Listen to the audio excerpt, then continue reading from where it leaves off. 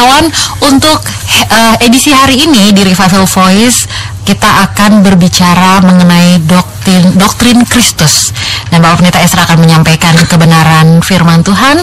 Sekali lagi jangan lupa kita punya uh, sesi tanya jawab nanti di 082144942696 sesaat sesudah Bapak Pendeta menyampaikan kebenaran firman Tuhan. Baik saudara pendengar yang saya kasihi, kita akan masuk ke dalam pelajaran tentang doktrin Kristus dan ini adalah satu pelajaran yang panjang ya. Jadi kita akan dari minggu ke minggu kita akan belajar doktrin Kristus sampai selesai. Dan saudara-saudara, doktrin Kristus itu di dalam bahasa teologianya disebut sebagai kristologi. Kristologi itu dari kat, dua kata, yaitu kata Kris itu Kristus, Kristos bahasa Yunaninya dan logi itu dari logos itu artinya doktrin atau ajaran sehingga kristologi itu artinya ajaran atau doktrin tentang Kristus. Nah, saudara-saudara, ini penting sekali. Mengapa kita perlu belajar kristologi? Mengapa kita perlu belajar doktrin Kristus? Karena kalau mau dibilang bahwa inti dari kekristenan itu sebenarnya terletak pada pemahaman kristologi kita. Semua aspek di dalam iman Kristen itu ada kaitannya dengan Kristus. Pada waktu kita membicarakan tentang doktrin Alkitab, maka kita melihat bahwa di dalam Alkitab ada begitu banyak nubuatan yang semuanya akan berfokus kepada janji tentang kedatangan Yesus Kristus. Kalau kita bicara tentang doktrin dosa, maka kita juga akan berujung kepada doktrin Kristus karena Kristuslah yang menebus dosa kita. Pada waktu kita membicarakan tentang doktrin Roh Kudus, maka kita juga ada hubungannya dengan Kristus. Mengapa? Karena Roh Kuduslah yang menerapkan pekerjaan Kristus itu di dalam hidup orang percaya. Pada waktu kita bicara tentang soteriologi, doktrin keselamatan, maka itu tidak terlepas dari Kristus karena Kristuslah yang menyelamatkan kita. Dan dengan demikian juga dengan doktrin-doktrin yang lain. Sehingga dari semua doktrin di dalam kekristenan bagi saya kristologi itu menjadi sesuatu doktrin yang paling penting atau doktrin Kristus ini menjadi doktrin yang sentral di dalam teologi Kristen. Dan karena itu maka betapa pentingnya kita memahami tentang doktrin ini. Dan saudara-saudara, kita juga perlu memahami doktrin ini karena apa? Karena ada begitu banyak pandangan, ada begitu banyak doktrin, baik secara kalau dilihat secara historis itu uh, terlalu banyak pemahaman-pemahaman yang keliru terkait dengan pemahaman tentang Kristus ini. Ada banyak ajaran-ajaran yang menyimpang dari uh, ajaran yang sesungguhnya tentang Kristus dan ini ada di dalam sejarah, muncul di dalam sejarah. Ada misalnya uh, aliran yang namanya adopsianisme. Adopsianisme itu dengan tokohnya adalah Paulus dari Samosata. Dia mengatakan bahwa Kristus itu atau Yesus itu sebenarnya adalah manusia biasa yang pada waktu baptisan dia menerima kuasa ilahi. Dia menerima kuasa ilahi sehingga dia diangkat ke dalam posisi ilahi. Jadi ada perkembangan di dalam diri Kristus dari manusia biasa lalu menjadi semacam Allah, tapi dia bukan betul-betul Allah, dia tetap lebih rendah dari Allah. Itu di dalam sejarah itu ada ajaran seperti itu namanya ajaran adopsianisme. Selain itu ada juga ajaran yang namanya Apolinarianisme. Apolinarianisme itu tokonya adalah Apollinarius, itu uskup dari kota Laodikia. Dan ajarannya ini juga disebut sebagai psychological trichotomy di mana dia mengatakan bahwa Yesus itu mempunyai tubuh dan jiwa tetapi tidak punya rational spirit atau roh yang rasional atau juga pikiran. Karena pikirannya itu adalah logos yang bersifat ilahi. Jadi Yesus Kristus itu bukan manusia sepenuhnya karena dia tidak mempunyai pikiran manusia.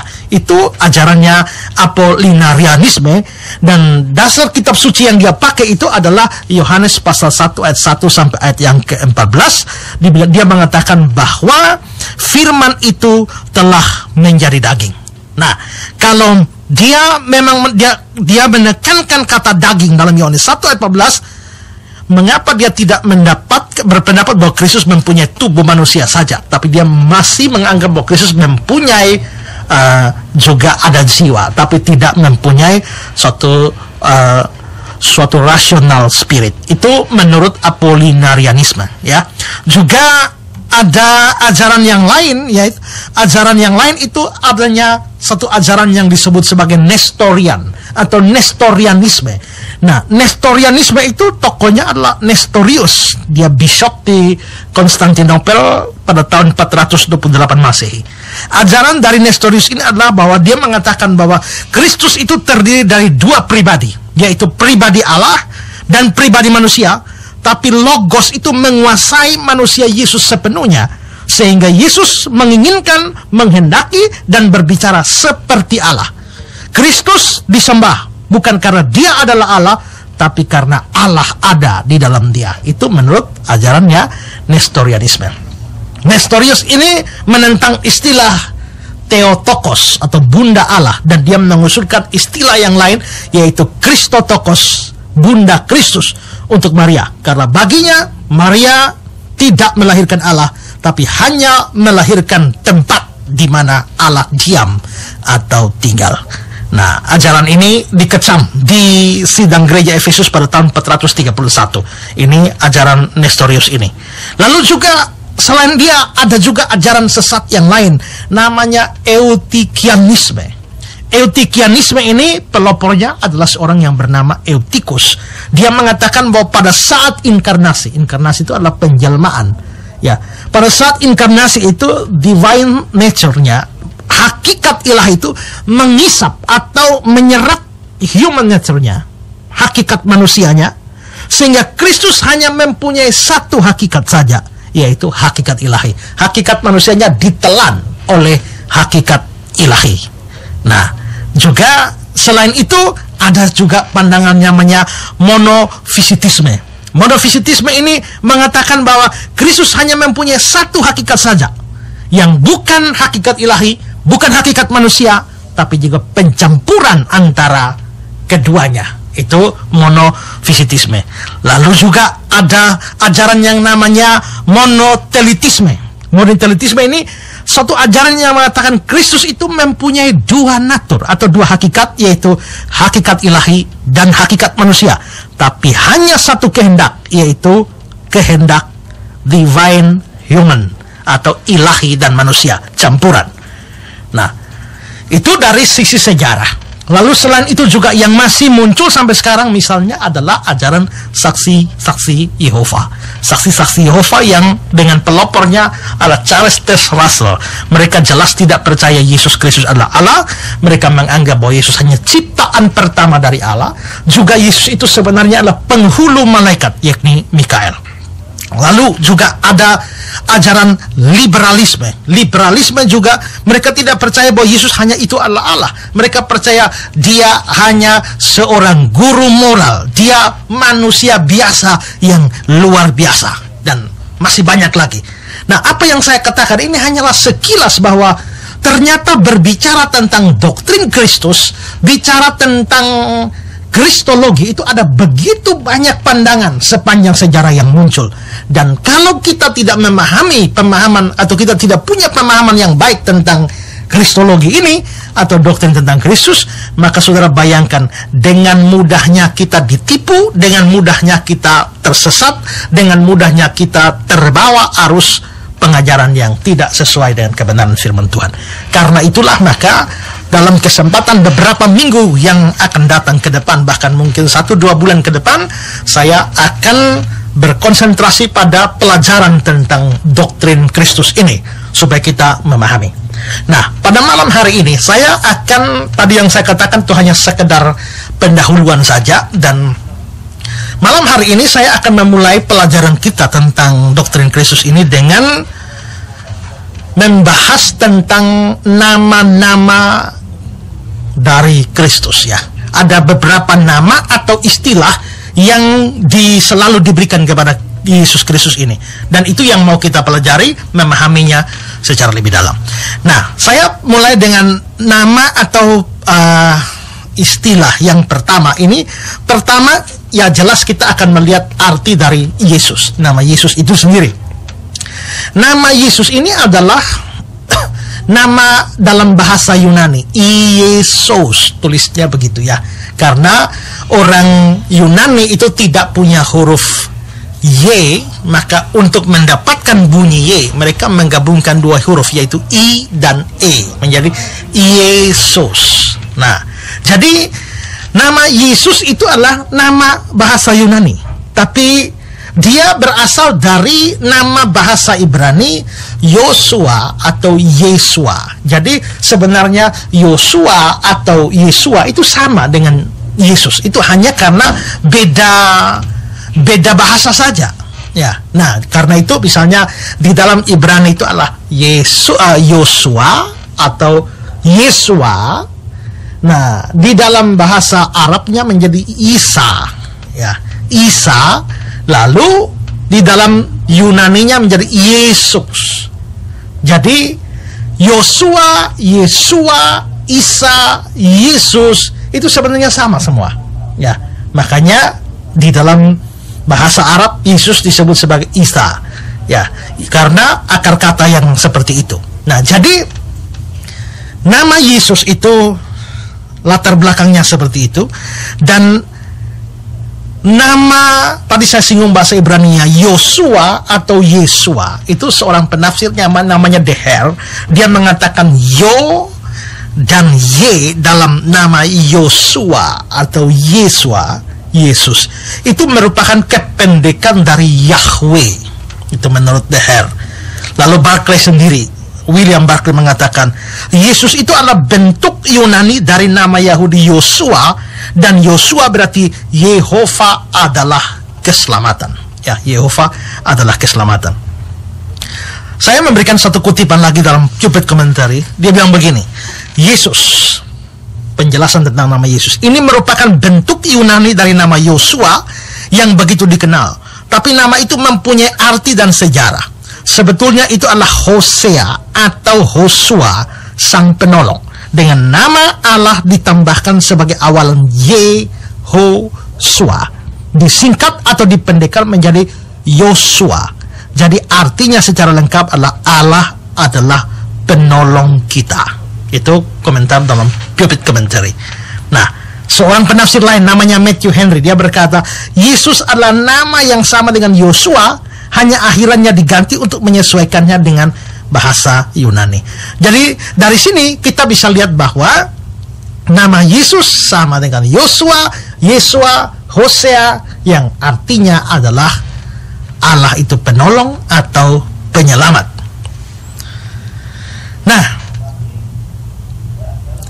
nama Yesus ini adalah dari, dari dengan kata lain, nama Yesus ini adalah satu nama yang mempunyai hubungan atau mempunyai kaitan dengan misi penyelamatan yang diembarnya.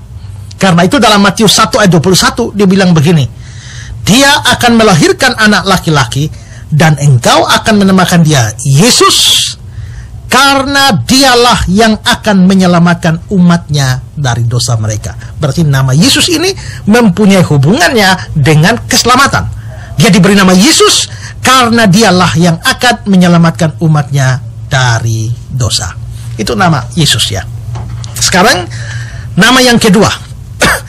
nama kedua yang akan saya jelaskan adalah nama Kristus ya.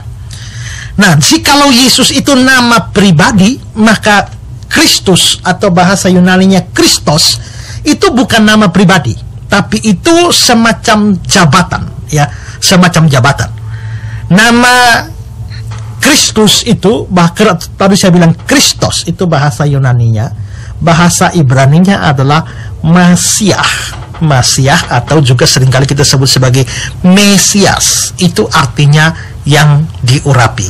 Jadi kalau Yesus tadi itu artinya penyelamat atau Allah menyelamatkan lebih tepatnya sebagai seorang penyelamat. Lalu Masiah. Masiah itu artinya yang diurapi maka Yesus Kristus artinya penyelamat atau juru selamat yang diurapi. Itu arti dari namanya Yesus Kristus Nah, karena Yesus Kristus ini itu saya sebut tadi bentuk dalam dalam bahasa Yunani.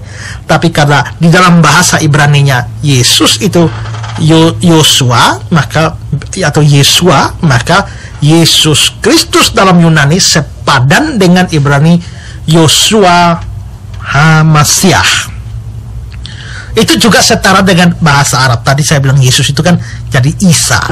Sedangkan Mesias ya, Mesias atau Masiah di dalam Ibrani menjadi Masih di dalam bahasa Arabnya. Nah, karena itu maka di dalam bahasa Arab menjadi Isa Masih. Nah, lalu dikasih kata sandang al jadi menjadi Isa al-Masih. Jadi Isa Al-Masih sama dengan itu bahasa Arab sama dengan Yesus Kristus bahasa Yunani sama dengan uh, Yosua Hamasiah di dalam bahasa Ibrani. Nah, itu arti Kristus, arti nama Kristus yang artinya adalah uh, yang diurapi. Nah, orang Yahudi itu tentu saja mempunyai satu pengharapan yang namanya pengharapan mesianik karena mereka dijanjikan di dalam banyak uh, naskah atau dalam teks-teks perjanjian lama di dalam kitab Daniel, di dalam kitab Yesaya, di dalam Yoel, Yeskiel bahwa akan datang seorang juru selamat yang diurapi. Dialah itu Mesias. Karena itu orang Yahudi hidup di dalam suatu pengharapan mesianik yang begitu kuat menanti. Hanya sayangnya adalah mereka tidak percaya bahwa Yesus itulah Mesias itu. Bagi mereka, Mesias itu bukan Yesus. Karena itu mereka masih menantikan seorang Mesias. Tapi bagi orang Kristen, Yesus itulah Mesias. Maka perdebatan orang Kristen abad pertama dengan orang-orang Yahudi itu adalah tentang kemesiasan Yesus. Nah, saudara-saudara, uh, itu arti dari nama Kristus. Nah, sekarang saya akan menjelaskan juga kaitannya dengan kalau dua nama ini ya, Yesus Kristus. Nah, kalau memang namanya Yesus Kristus, ingat bahwa Kristus tadi saya bilang jabatan, itu bukan seperti kita semacam fam atau nama belakang, bukan.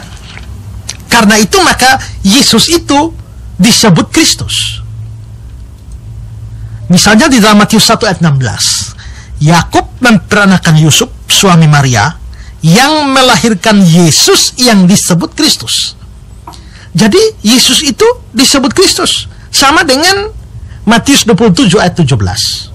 Karena mereka sudah berkumpul di sana, Pilatus berkata pada mereka, "Siapa yang kamu kehendaki ku bebaskan bagimu? Yesus Barabas atau Yesus yang disebut Kristus?" Jadi Yesus yang kita sembah, Yesus yang kita puji, itu Yesus yang mana? Yesus yang disebut Kristus. Itu sama dengan Matius 27 ayat 22 juga. Nah, tapi saudara, lama kelamaan dipakai Kristus itu nama jabatan, tapi lama kelamaan itu dipakai sebagai nama diri tanpa kata sandang. Maka jadilah Yesus Kristus. Matius 1 ayat 1 inilah silsilah Yesus Kristus. Atau Matius 1 ayat 18 kelahiran Yesus Kristus adalah seperti berikut. Nah, lalu kadang-kadang ini bisa dipakai secara terbalik juga. Misalnya di dalam 2 Timotius 3 ayat 12 dia bilang, memang setiap orang yang mau hidup beribadat di dalam Kristus Yesus. Jadi pertama adalah Yesus yang disebut Kristus, lalu menjadi Yesus Kristus, lalu menjadi Kristus Yesus.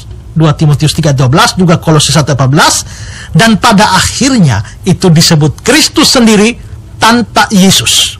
Misalnya dalam Roma 8 ayat 2, roh yang memberi hidup telah memerdekakan kamu dalam Kristus. Disebut dalam Kristus tanpa Yesus lagi. 1 Korintus 1 ayat 6 sesuai dengan kesaksian tentang Kristus yang telah diteguhkan di antara kamu. Padahal Yesus itu belum tentu Kristus. Kristus belum tentu Yesus. Tapi karena orang Kristen sudah percaya bahwa Yesus itu adalah Kristus, maka disebut sebagai Yesus Kristus atau kadang-kadang disebut Kristus sendiri. Kalau disebut Kristus tanpa Yesus, tapi yang dimaksudkan dengan Kristus itu pasti adalah Yesus dari Nazaret itu. Nah, jadi itu arti dari nama Yesus Kristus. Sekarang saya menjelaskan nama yang ketiga atau istilah yang ketiga yang dipakai juga kepada Yesus ini adalah istilah anak manusia. Nah, di dalam perjanjian lama, istilah anak manusia itu ditemukan di dalam Mazmur pasal 8 ayat yang keempat sampai 6 dan juga Daniel pasal 7 ayat 13 dan sering kali muncul di dalam nubuatan kitab Yeskiel. Kemungkinan uh, dasar bahasa Aramnya adalah bar enasi atau bar anasya yang artinya manusia yang khusus. Nah, saudara, menarik sekali bahwa di dalam perjanjian baru nama atau istilah ini anak manusia ini sering dipakai oleh Yesus dan kelihatannya Yesus begitu senang menggunakan ini. Kira-kira di dalam perjanjian baru ada sekitar 40 kali Yesus disebut dengan sebutan anak manusia dan kelihatannya dia suka sebutan itu. Dia bilang, anak manusia datang untuk mencari dan menyelamatkan yang hilang. Anak manusia datang untuk memberi nyawanya menjadi tebusan bagi banyak orang. Anak manusia akan datang diiringi dengan para malaikat. Anak manusia diserahkan ke dalam tangan orang berdosa dan macam-macam banyak ayat seperti itu. Kelihatannya Yesus senang sekali uh, menyebut dirinya atau bahkan disebut sebagai anak manusia. Nah, apa artinya anak manusia, istilah anak manusia ini yang diberikan kepada Yesus. Nah, itu bisa mempunyai dua arti. Arti yang pertama bisa jadi itu menunjukkan bahwa dia adalah sungguh-sungguh manusia. Karena dia menjelma menjadi manusia dan dia bukan manusia jadi-jadian, dia bukan manusia yang uh, tidak sungguh-sungguh tapi dia manusia sungguh-sungguh. Nah, itu dipakai istilah anak manusia. Sama seperti saudara itu anak manusia, berarti saudara manusia sungguh-sungguh. Sama seperti anak dari ayam misalnya itu ayam sungguh-sungguh. Anak dari ular itu ular sungguh-sungguh. Nah, anak manusia itu manusia sungguh-sungguh. Jadi dengan menggunakan istilah anak manusia, maka Yesus mau mengatakan bahwa dia betul-betul adalah manusia. Tetapi selain itu juga kalau kita mengacu kepada nubuatan kitab Daniel yang tadi saya singgung itu bahwa Daniel mendapatkan satu penglihatan aku melihat seorang seperti anak manusia turun dari langit yang tadi dalam bahasa Aram bar enasi itu adalah semacam manusia khusus. Nah, kelihatannya begitu menonjol bahwa Yesus senang sekali menggunakan istilah anak manusia untuk dirinya kemungkinan besar dia mengacu kepada nubuatan yang kitab Daniel bahwa dia mengatakan anak manusia, anak manusia, anak manusia. Dia kelihatannya mau berkata bahwa hei orang-orang Yahudi, tahukah kamu bahwa anak manusia, Bal Enasi, manusia khusus yang turun dari langit di dalam penglihatan Nabi Daniel itu sesungguhnya adalah aku. Dia mungkin mau mengatakan seperti itu. Karena itu maka Yesus ini senang sekali menyebut dirinya sebagai anak manusia. Nah, itu pengertian anak manusia. Jadi sudah uh, berapa nama ya? Yesus sudah saya jelaskan, Kristus juga sudah, lalu anak manusia, lalu istilah berikut adalah anak Allah. Nah, istilah anak Allah ini juga dipakai oleh uh, Yesus ya. Yesus disebut sebagai anak Allah.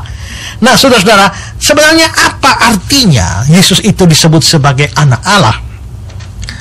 Nah, Yesus ini disebut sebagai anak Allah itu tidak berarti bahwa Allah betul-betul mempunyai anak. Allah tuh kawin lalu punya anak. Ini banyak orang agama lain itu salah paham terhadap istilah ini.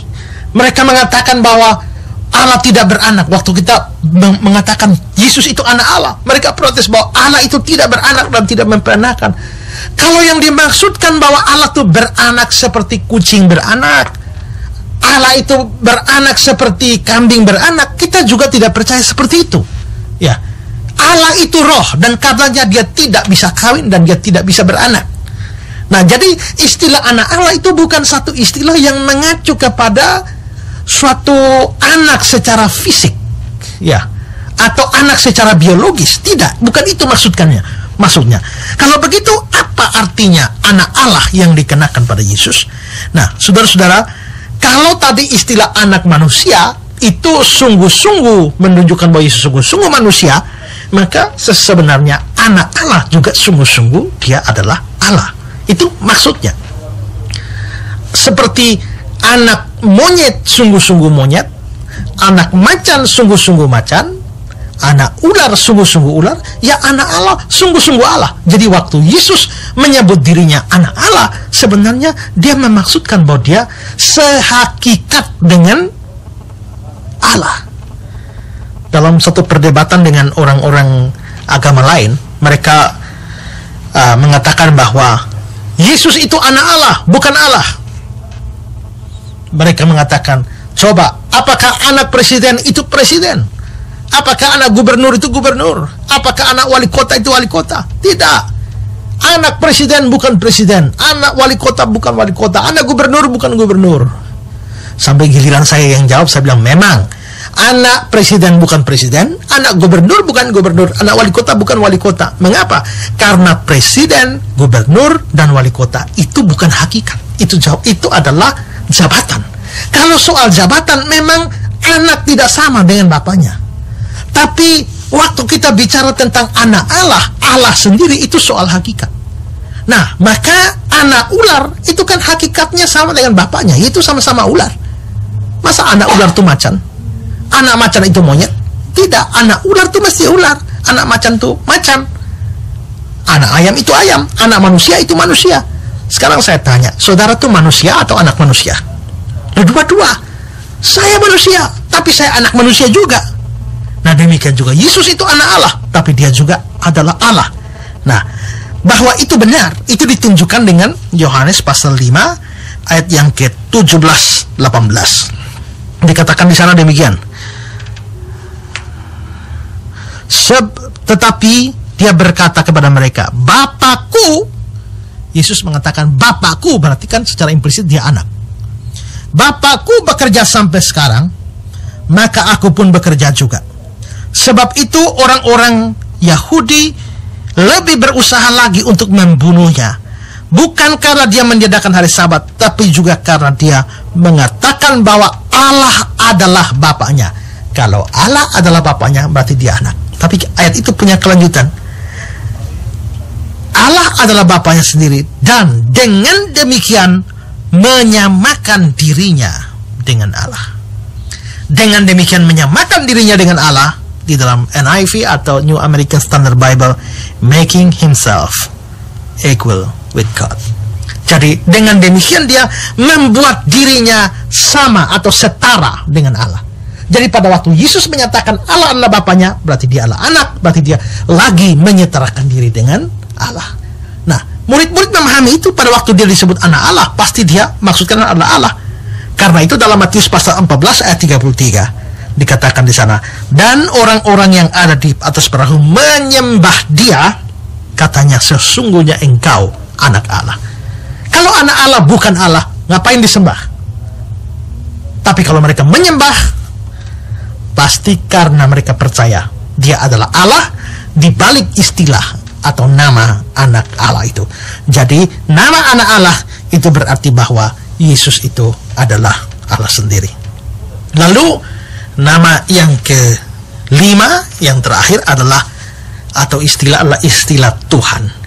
Nah, Tuhan ini bahasa Yunaninya adalah kurios dan ini semacam suatu gelar kehormatan. Sama seperti dalam bahasa Inggris ada istilah atau uh, sebutan sir atau lord. Itu adalah semacam gelar kehormatan. Kalau saudara pergi ke dokter, saudara dapat obat, di obat itu tulis misalnya Tuan Esra. Nah, itu kalau di uh, Yunani itu Kurios Esra. Nah, jadi itu semacam tuan atau seseorang yang dihormati. Nah, jadi itu kurios. Nah, Yesus disebut sebagai kurios artinya adalah bahwa dia adalah seseorang yang mempunyai kehormatan yang sangat tinggi, ya sangat tinggi. Dan memang saja kalau kita melihat bahwa uh, seorang disebut kurios, dia belum tentu adalah Allah, ya dia belum tentu adalah Allah karena siapa saja raja juga bisa disebut sebagai kurios, orang-orang terhormat bisa disebut sebagai kurios. Tapi untuk Yesus itu juga memang sekaligus sebagai gelar kehormatan, tapi juga bisa menunjukkan kepada dia adalah dalam pengertian Allah. Itulah sebabnya kalau kurios itu dilihat dari konteks itu menunjuk pada Allah, maka Alkitab Indonesia bukan menerjemahkannya dengan sebutan Tuhan, tapi diterjemahkan dengan sebutan Tuhan. Ya, walaupun jadi kurios itu bisa Tuhan, bisa Tuhan. Tapi kapan jadi Tuhan, kapan jadi Tuhan itu tergantung konteksnya, ya, tergantung konteksnya. Nah, misalnya dalam Filipi pasal 2, semua lutut bertelut dan semua lidah mengaku bahwa Yesus Kristus adalah kurios. Kalau kurios di situ diartikan Tuhan, masa Tuhan biasa kok segala uh, segala lutut bertelut semua lidah mengaku? Kalau semua lutut bertelut semua lidah mengaku, ini pasti bukan Tuhan, tapi Tuhan. Itulah sebabnya Lembaga Alkitab Indonesia menerjemahkan kata kurios di dalam Filipi pasal 2 itu dengan sebutan Tuhan. Dengan demikian, Yesus Kristus adalah Tuhan dalam pengertian setinggi-tingginya dan karena itu dia pasti adalah Allah. Jadi hari ini saya sudah mengajar kepada kita mengapa kita penting bagi kita untuk belajar kristologi karena ada begitu banyak ajaran yang menyimpang seputar doktrin Kristus dan pada pertemuan pertama ini saya sudah menjelaskan tentang nama-nama yang dipakai. Yang pertama adalah nama Yesus, kedua nama Kristus, lalu yang ketiga adalah istilah anak manusia, keempat anak Allah dan yang kelima adalah Tuhan. Nah, kiranya apa yang saya bagikan ini boleh menjadi pengetahuan bagi saudara dan pada minggu yang akan datang kita akan melanjutkan pelajaran kita ini pada pembahasan selanjutnya. Tuhan memberkati.